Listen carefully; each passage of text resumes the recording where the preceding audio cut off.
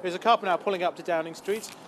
Let's see who this is. I'll just step out of shot a moment and we may well get the first uh, cabinet appointment. Let's have a look. Who is this? Brandon Lewis. Mr. Chairman, Brandon Lewis there, the immigration minister. He walks into Downing Street. We expect he will be leaving that uh, meeting with the Prime Minister as new Conservative Party chairman.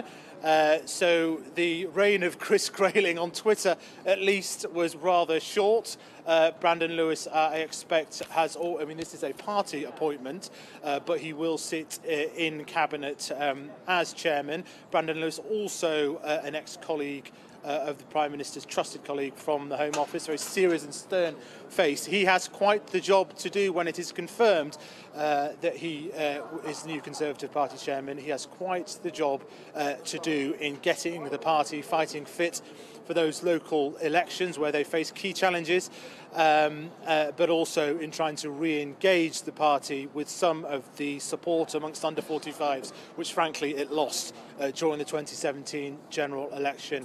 That is Brandon Lewis. We're awaiting official confirmation.